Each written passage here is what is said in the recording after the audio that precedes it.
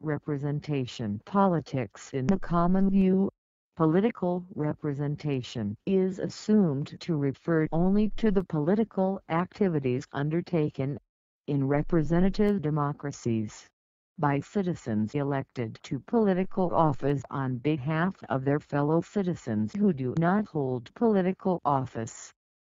However, the lack of consensus in the political literature on political representation belies this common view.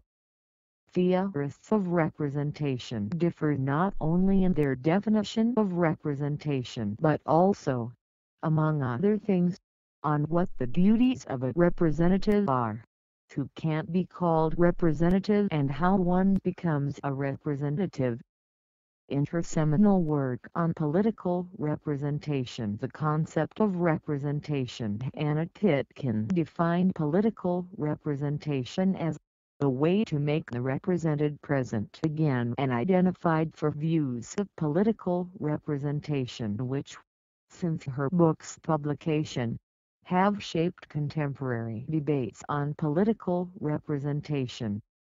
Recently, Jane Mansbridge has identified four other views of specifically democratic political representation which,